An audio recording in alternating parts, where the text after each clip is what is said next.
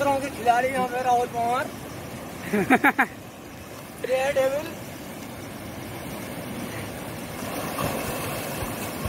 ये बैंग है।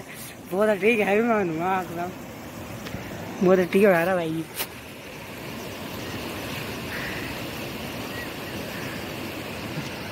हाँ रुक मैं भी मैं भी